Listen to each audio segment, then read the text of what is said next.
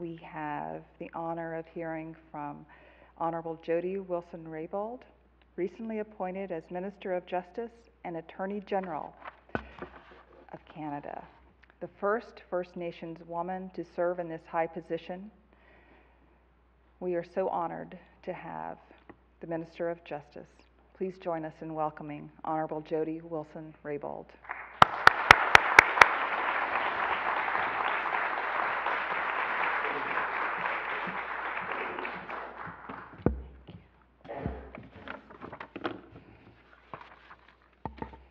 Gela Kasla, good morning, everyone. How are we doing? Thank you, Brenda, for, for the introduction. And I, uh, I wanted to, uh, I'm really pleased to be here and uh, certainly want to recognize the, the traditional territory that we're on, the, the territory of the Pis, Piscataway Nation. And I would also like to acknowledge all of the amazing women and men that are in the room, and to uh, thank uh, my uh, my good friend Kim Baird for uh, for inviting me here today and and uh, um, for being a strong woman in your community of Tsawwassen. So the theme "Strong Women, Strong Nations" is a topic that resonates with me, and, and certainly is a topic of late having just come from the United Nations Commission on the Status of Women as part of Canada's official delegation, along with our Prime Minister, our self declared feminist Prime Minister, the Honorable, uh, the Right Honorable Justin Trudeau. This year's session focused on women's empowerment and linking it to sustainability. As someone who comes from a strong line of women, I am honored to have the opportunity to speak here today about the importance of strong women and strong nations. Of course, we could be talking about strong nations in the sense of modern nation states, such as Canada or the United States, or we could be talking about strong Indigenous nations that have existed throughout the Americas for millennia.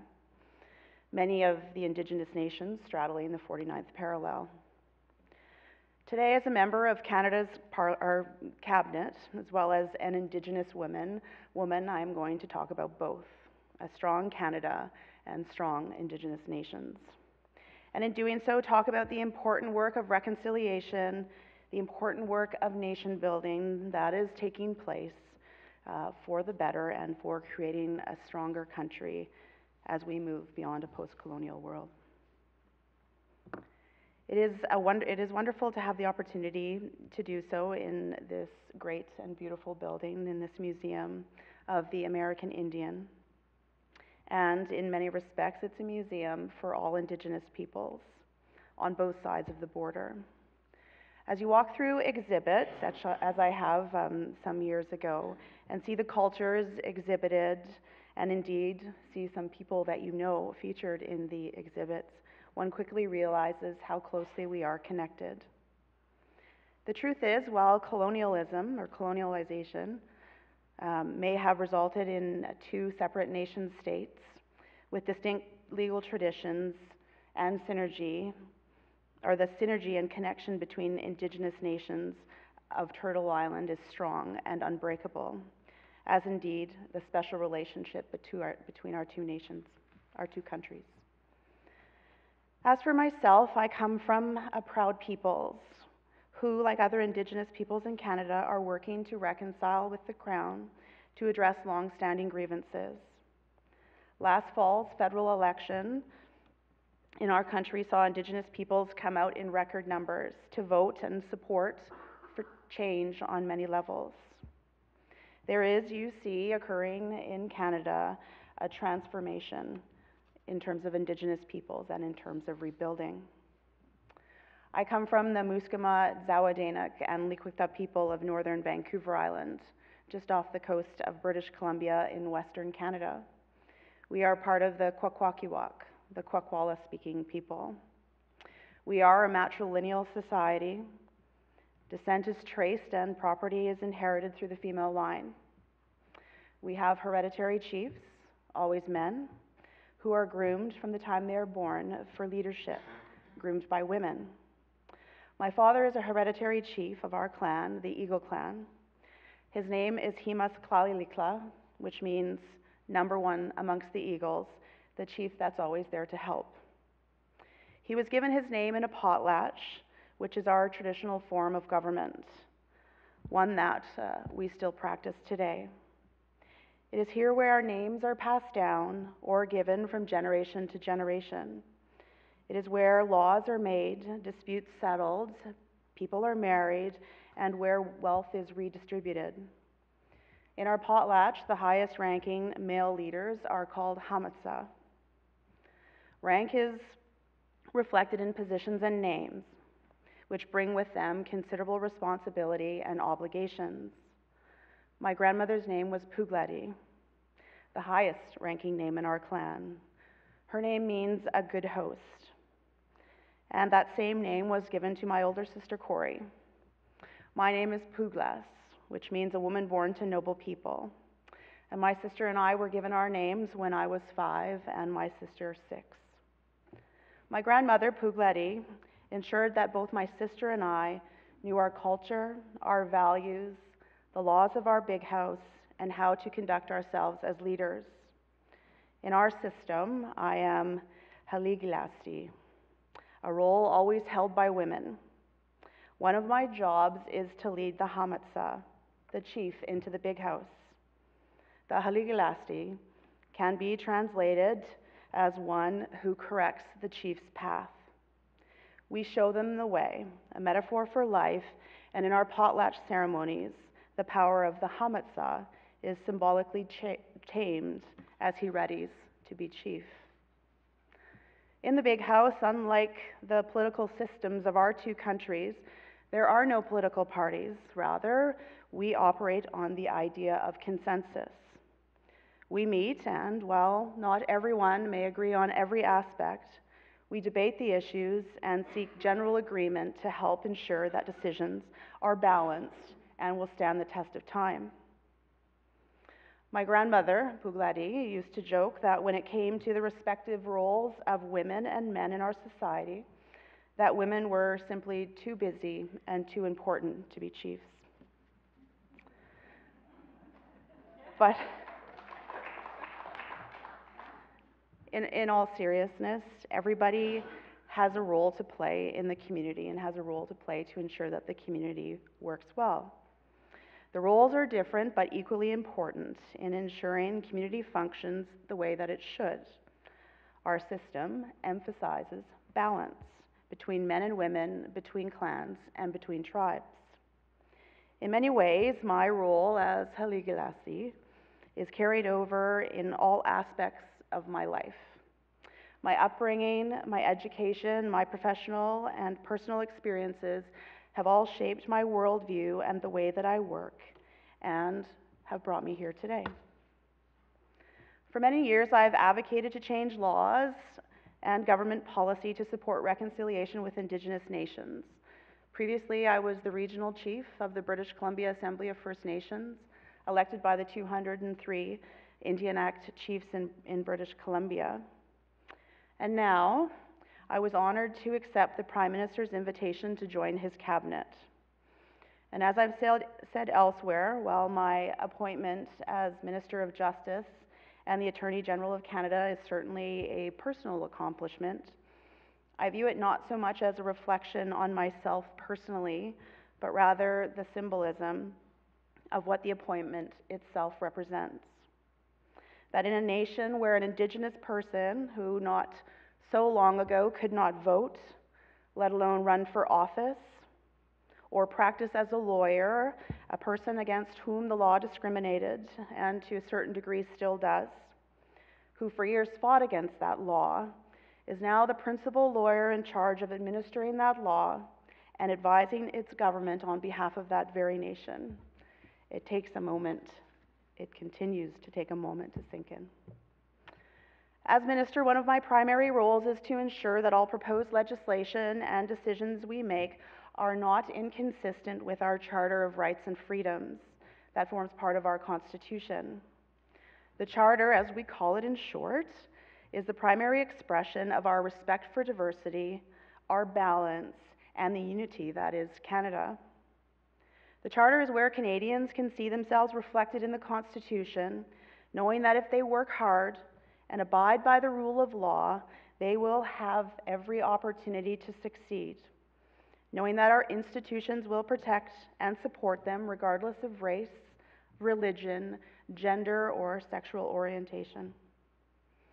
With respect to Indigenous peoples, the Charter not only ensures there can be no discrimination based on race, but also provides authority for recognizing the various Indigenous nations and their collective rights.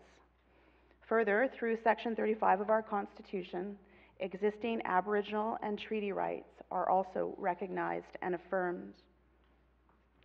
It is from this legal context that reconciliation with Indigenous peoples in Canada is taking place, with reconciliation being key, a key part of my mandate, and a key part of all Cabinet Ministers' mandates, as set out in our mandate letters that have been made public, mandate letters from the Prime Minister. Indeed, talking about cabinets, I am very pleased to be part of a cabinet in which 50% of its members are women. And also, this goes a long way to ref- and also goes a long way to reflect the diversity in our country. This is the first time in our history that this has happened, and it is a living expression of what our charter promises. There are also two Indigenous uh, people in our cabinet, myself, of course, and uh, Minister Hunter Tootoo, who's the Minister of Fisheries and Ocean, an Inuit from Rankin Inlet. As part of my mandate, uh, also is to review and reform the justice system more generally. Like our charter, the justice system plays an important role in contributing to Canada's success. And with this in mind, Canadians are currently examining some incredibly complex and sensitive issues at the moment legalization and strict regulation of marijuana, medical assistance in dying, and the balance between personal freedoms and national security, to name a few. Of concern to our government and, and myself personally is the way our criminal justice system affects the most vulnerable segments of our community disproportionately more than others, and in particular with respect to Indigenous peoples. For example, we know that Indigenous peoples interact with our criminal justice system in a shockingly unacceptable way. We are far more likely than other Canadians to be arrested, prosecuted, and incarcerated, and the number goes up with respect to women. We can and must do better. I would like to imagine a country in which the justice system better aligns with the needs of all its citizens. What if an offender's first interaction with the criminal justice system did not become the first in a series? What if it triggered restorative justice measures that are culturally appropriate, designed to address the factors that inspired the criminal behavior in the first place? What if the system had off ramps that could allow the offender to get out of the system. This is what we are working hard on, or hard at. Perhaps in returning to the theme of strong Indigenous nations, the most challenging area of public policy for our government, uh, that our government seeks to address, is true reconciliation with Indigenous peoples. It is so absolutely necessary and so long overdue. As I've said, our thoughtful and compassionate Prime Minister has directed all ministers to help build a renewed nation to nation relationship with Indigenous peoples based on recognition of rights, respect, cooperation, and partnership. These are the words that are rarely, if ever, have been uh, heard by a sitting Prime Minister. This relationship will be quite different from what Indigenous peoples in Canada have experienced since the days before Canada became a country. Let us consider that history for a moment to assist us in understanding the work that is needed today. At the time of first contact, the colonial powers and Indigenous peoples made treaties and formed political and military alliances. In accordance with the Royal Proclamation of 1763, the various nations or tribes of Indians signed these treaties. Some of the tribes showed their assent to treaty by presenting officials of the crown with wampum.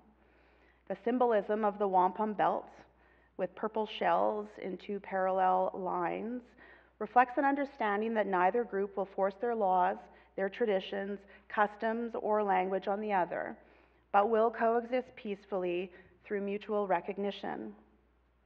In other words, it reflects the balance between the nations. I think you can see these wampum belts in this museum. Yet when the Fathers of Confederation, Canada's Fathers of Confederation, met to lay the foundation for the new country in, 18, in the 1860s, Indigenous peoples were not present. Worse, after Confederation, government policy towards Indigenous peoples became one of assimilation. And one of the tools used to propagate this policy was the Indian Act, which imposed alien systems of government and created residential schools, whose stated mission was to take the Indian from the child. Under the Indian Act, the Indian was now a legal construct and a ward of the state. The government would be a trustee to all Indians until assimilation was complete. There was no balance. In fact, for generations, and somewhat ironically, given the objective of assimilation, most Indigenous peoples were actively discouraged from participating in Canadian society. Indigenous peoples were, and to some degree still are, excluded from walking the same path to success as other Canadians.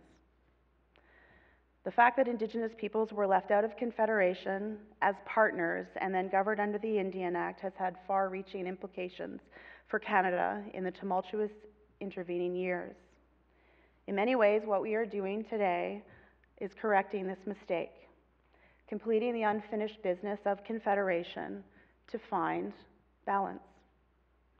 In correcting this mistake, including Section 35, which recognized and affirmed existing Aboriginal and treaty rights in the 1982 Constitution, was incredibly significant. Moreover, our highest court has confirmed the inherent right of Indigenous peoples to self government. While these powers of self government are not absolute, they are all the same very real. Interestingly, at the time of the Constitution, or that at the time the Constitution was being repatriated from England in 1982, some legal advisors for the provinces played down the significance of Section 35, advising their clients that any continuing Aboriginal rights were limited and that they did not need to worry about the implications of the provisions. For these folks, Section 35 was a so called empty box that could only be populated at the will of the Crown. In other words, there really were no continuing inherent rights of self government, the constitutional division of powers having been fully exhausted by the federal government and the provinces. Aboriginal peoples were out of luck. But for those who fought so vigorously for Section 35 and for the Charter Amendments, including my father, it was, of course, anything but an empty box. The constitutional conferences in the early 1980s on Aboriginal self government that followed repatriation um, expressed this difference of opinion empty box versus full box. This was palatable at the negotiating table. I remember in 1983, as a young girl, watching uh, the conference at school. I was in grade six, now you know how old I am. And my father and our current Prime Minister's father, Pierre Elliott Trudeau, watching them go toe to toe. When the negotiations were going nowhere, my father, in his imitable way, told Trudeau that, quote, there needs to be some good faith about it, and that the exercise now is not about frank and open discussion or understanding and appreciation of other people's concerns on the basis of respect and dignity, it has now become all of a sudden a question of power and who exercises it. René Lévesque, the late Quebec Premier, summed it up best when he said later that day Behind all of this, what is going on is a political process a political process that is fundamentally a question of power. One authorized spokesperson for the Aboriginal peoples has already stated the whole thing is about power. He went on to say, Power has traditionally been exercised in several classic ways. Probably the most classic example is by force of arms and by strength of numbers. For example, the dispossession of the Métis during the time of Riel was a crime, which was an abuse of the force of arms backed up by strength of numbers. What alternative is left so a group can reach a civilized solution? It means accumulating enough power, enough ways of asserting pressure so they can negotiate as equals. That is fundamental. And of course, he was right. And since the failure of those conferences, Indigenous peoples in Canada have been doing um, just that accumulating enough power, economic, legal, and political power, to reach, as Premier Levesque said, a civilized solution. Today we would call this reconciliation, reconciling the power of Indigenous peoples with those of the Crown to achieve balance within our evolving system of multi level governance and cooperative federalism. Looking forward, then, our next step as a country is to find long term solutions as we develop a new framework for reconciliation based on recognition of Aboriginal rights, including treaty rights. This must be done in full partnership with Indigenous peoples, the process developed jointly. And one of the biggest legal questions we face as we work towards true partnership and developing a reconciliation framework will be how we implement the United Nations Declaration on the Rights of Indigenous Peoples. The declaration that recognizes that Indigenous peoples have both individual and collective rights. Interestingly, it is the only human rights instrument created with the participation of the rights holders themselves. Participation being at the heart of the Declaration's concept of free, prior, and informed consent. That Indigenous peoples must be able to participate in decisions that will affect their lives.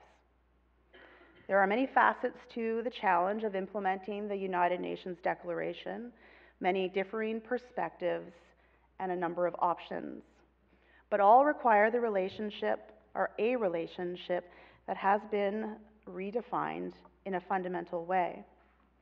We will do so through an approach that reflects our unique constitutional arrangements and that reflects the values we hold dear as Canadians. But of course, the work of reconciliation is not easy. Reversing the effects of colonialism takes time and effort.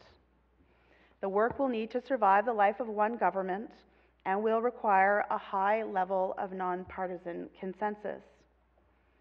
But I believe that doing so is critical and will be a defining factor in our country's future success. Strong Indigenous nations means strong means a strong Canadian nation state.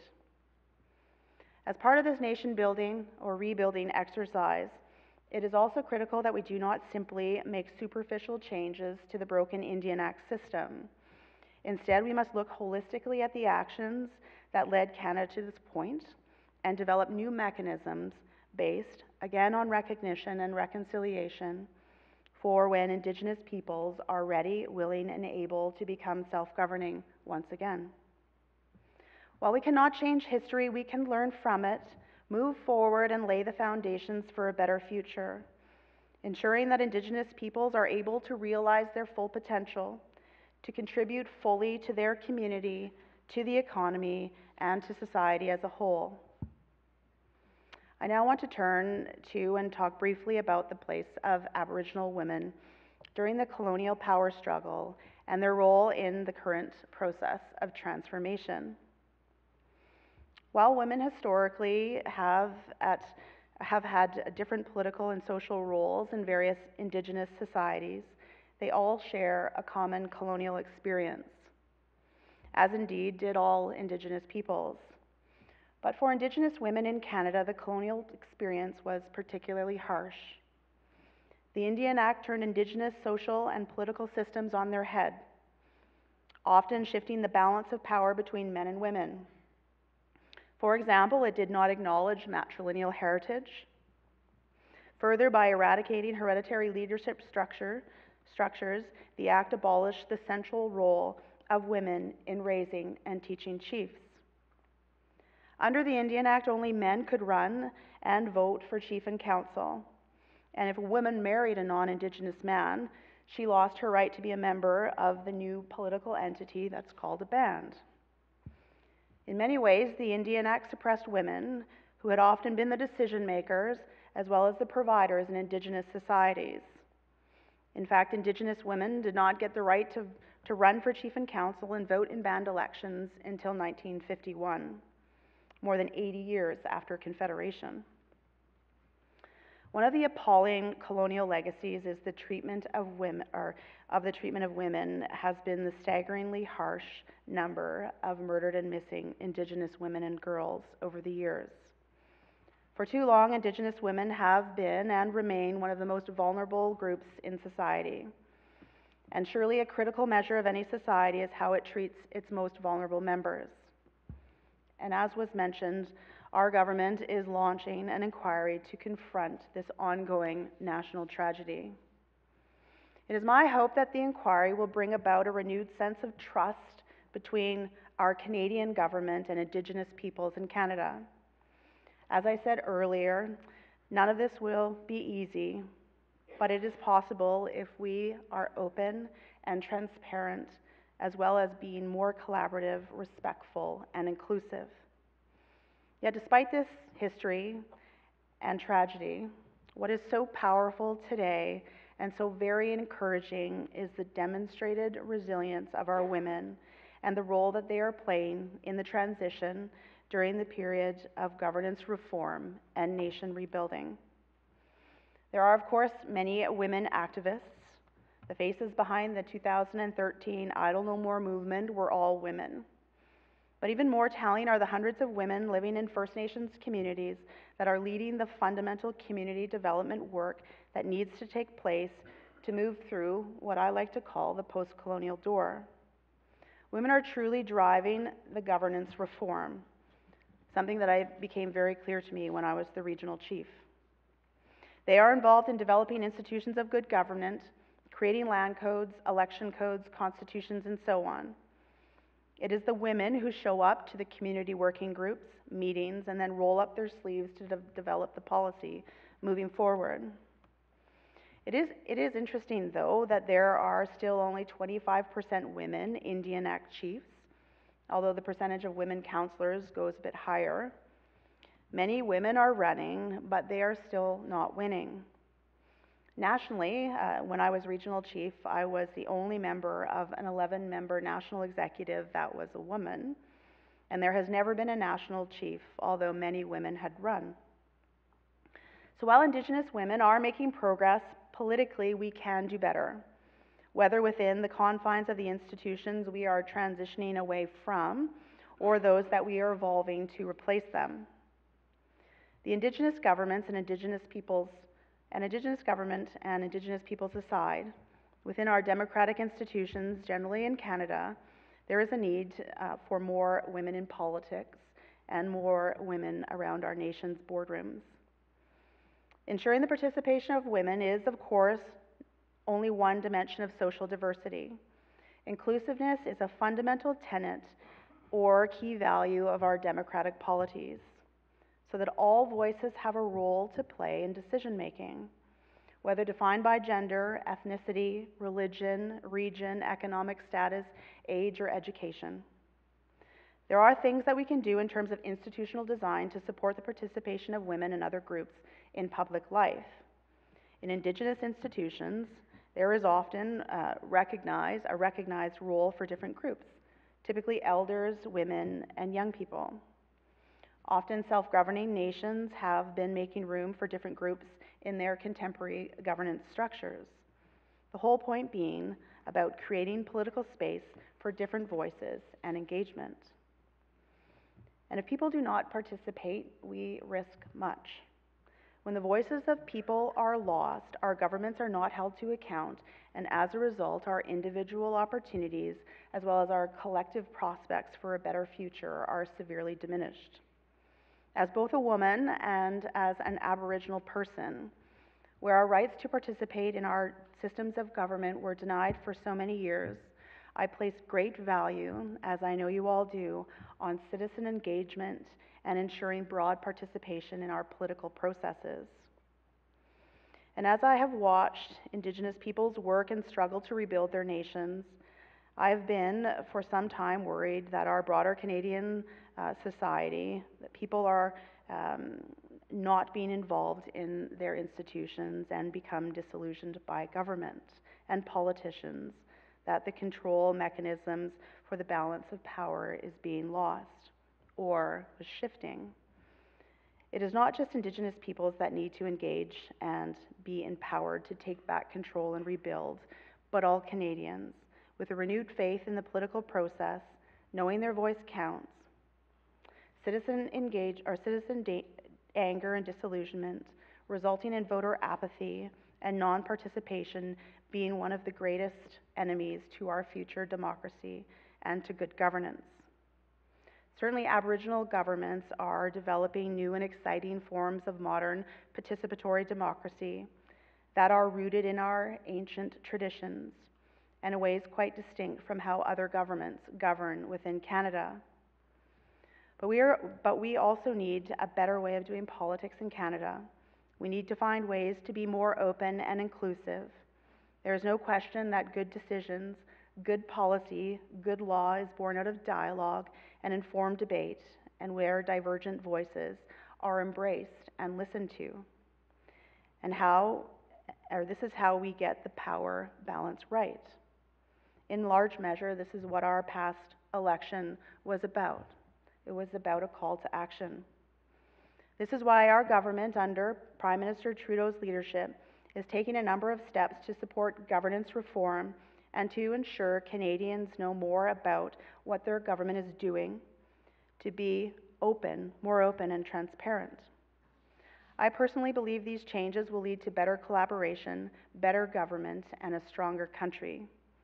Moreover, both at home and abroad, our government is focused on its commitment to advance gender equality, preventing gender based violence, particularly against Indigenous women and girls, and ensuring the rights of Indigenous women and girls, the rights of women and girls, are protected. And finally, we're looking at broader democratic reform and moving past our first past the post electoral system. There are, of course, different options for governance reform, and this is an important conversation that our country is now embarking upon. So, in many ways, as Indigenous peoples continue to take back control of their lives and nation rebuild, or rebuilding their nations, so too are Canadians taking back control and building a stronger Canada. Ensuring that we have a Canada that I think all Canadians aspire to live in.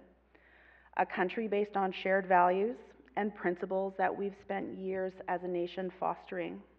Creating a fair, caring, and compassionate society that ensures our place on this planet as a favored nation and one of the best countries in which to live. It is in this special place of what is and what must remain Canada that Indigenous nations and the future of our diverse cultures and languages will be safeguarded. And indeed, our many different ways to be Canadian, our diversity. So, thank you for letting me say a few words here today. And thanks to each of you for the role that you play, doing your part in your own spheres of influence, whatever they may be, in creating a more just, a more inclusive, and a more compassionate society. Through strong women like yourselves and strong men, we will achieve both strong Indigenous nations and, in turn, strengthen our respective countries each of us in our own way, uh, Haligilasti, where we each have an important role to play in guiding the path forward and helping societies find balance and flourish. Gaila Kasula, thank you for listening.